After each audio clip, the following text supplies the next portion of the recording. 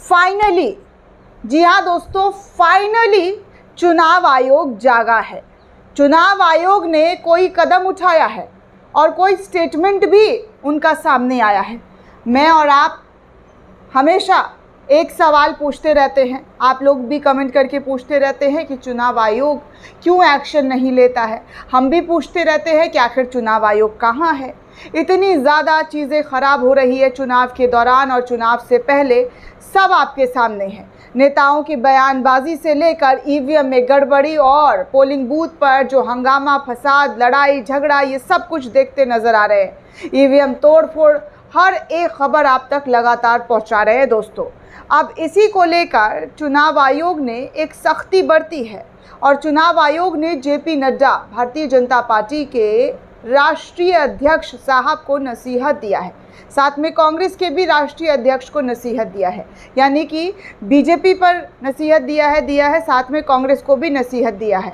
क्यों नसीहत दिया है? तो चलिए आपको इस खबर में बताते हैं, लेकिन उससे पहले आपको बता दें कि नेताओं ने इस साल, जी हाँ 2024 के लोकसभा चुनाव में अपने विवादित बयानों की जो लाइनें हैं, जो लड़ियाँ हैं, वो सारे रिकॉर्ड तोड़ दिए हैं। इतनी ज़्यादा नफरती भाषण, इतना ज़्यादा कम्युनल बातें, इससे पहले कभी किसी चुनाव में देखने सुनने को नहीं मिला है।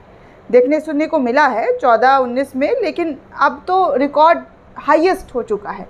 सारे रिकॉर्ड को तोड़ते हुए कम्युनल बातों की जो बौछार है वो कर दी गई। लेकिन चुनाव आयोग तब भी चुप रहा, तब भी खामोश रहा। लेकिन जब आप आवाज़ उठाएँगे, हम आवाज़ उठाएँगे तो चुनाव आयोग को चुप्पी तोड़ना पड़ेगा। क्योंकि आप चुप कब तक रह सकते हैं? आपकी चुप्पी से समाज में नफ़रत और घृणा बढ़ती है, फैलती है और आप चुप रह कर तमाशा देखेंगे तो आप में और उनमें कोई अंतर नहीं रहा दोस्तों।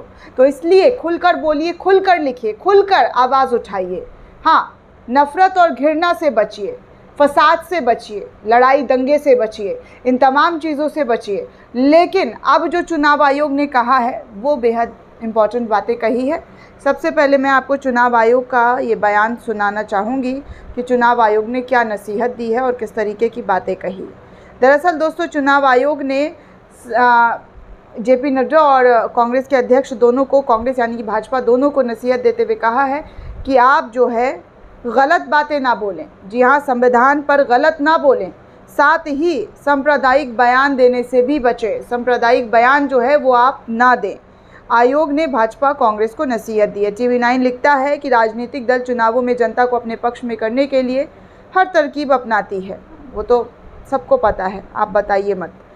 आगे आपको बता दें दोस्तों कि इस वजह से लेकर जिस तरीके से हिंदू, मुसलमान, पाकिस्तान और ना जाने चोर, उचक्का, जितनी गंदगी है, सारी उन, इन लोगों ने सब कुछ, जी हाँ सब कुछ इस्तेमाल कर लिया है। जाति, भाषा, धर्म, सेना और संविधान सब पर बयान दे दिए हैं इन लोगों के ज़रिए। तमाम नेता, चाहे वो सत्ता पक्ष हो या विपक्ष, सत्ता पक्ष तो कुछ ज़्यादा ही दे रहे हैं। तो इसको लेकर अब जो है, चुनाव आयोग ने इन दोनों ही पार्टी के अध्यक्ष को आरे हाथ लेते हुए कहा है कि आप मर्यादा बनाकर रखिए, औपचारिक नोट जारी करने का निर्देश भी जारी कर दिया है। क्योंकि इतनी झूठ इतनी झूठ फरे वाली बातें करी जा रही है दोस्तों कि जिसका कि कोई मतलब ही नहीं बनता, लेकिन चुनाव जीतने के लिए ये सब किया जा रहा है। निर्वाचन आयोग ने भारतीय जनता पार्टी और उसके स्टार प्रचारकों को धार्मिक और सांप्रदायिक आधार पर चुनाव प्रचार करने से दूर रहने के निर्देश दिए हैं।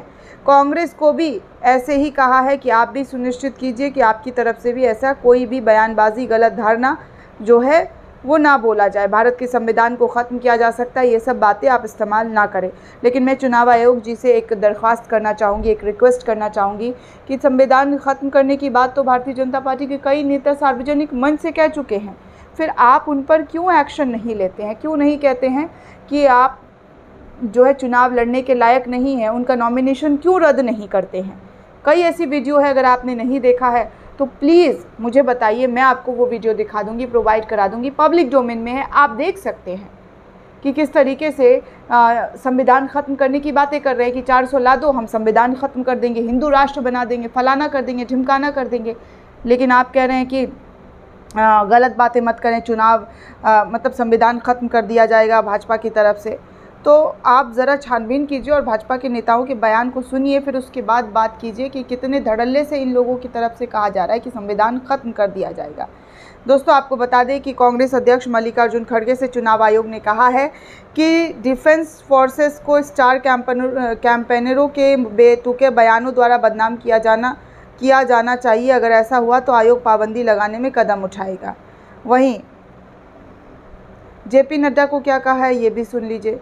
चुनाव आयोग ने जेपी नड्डा को कहा है कि स्टार कैंपनी कैंपेनरों की ओर से समाज को बांटने का कोई भी बयान नहीं दिया जाए, अन्यथा आयोग प्रचार करने पर पाबंदी लगा देगा। धर्म से जुड़े विवादित बयान पर स्टार कैंपेनरों द्वारा दिए गए बयानों पर आप जो है, वो रोक लगाइए। तो इस तरीके से चुनाव आयोग को लेकर जो गाइड, जो निर्देश दिए गए हैं, वो यही हैं। अब चुनाव आयोग की बातों को ये लोग कितना मानते हैं, ये तो वक्त बताएगा, लेकिन फ़िलहाल चुनाव आयोग ने कुछ तो बोला है। इससे पहले भी कहा था कि अब जो बाकी चढ़ने हैं, उसमें थोड़ा अच्छी बातें कीजिए, जिससे कि लोगों को एक अच्छा मैसेज जाए, एक अच्छी नैरेटिव सेट कीजिए। लेकिन तब भी नहीं माना आपकी बात, आपकी जो गाइडलाइन बनाए गए, उन गाइडलाइनों को नहीं माना जा रहा तो ये वाला जो आपने निर्देश दिया है, इस निर्देश पर ये लोग कितना फॉलो करते हैं, ये देखने वाली बड़ी बात होगी दोस्तों। खैर आप इस पूरे रिपोर्ट को लेकर क्या सोचते हैं? आपकी क्या प्रतिक्रिया हमें कमेंट करके ज़रूर बताइएगा। साथ ही साथ चैनल को ज़्यादा से ज़्यादा लाइक शेयर और सब्सक्राइब करना बिल्कुल भी ना भूलें।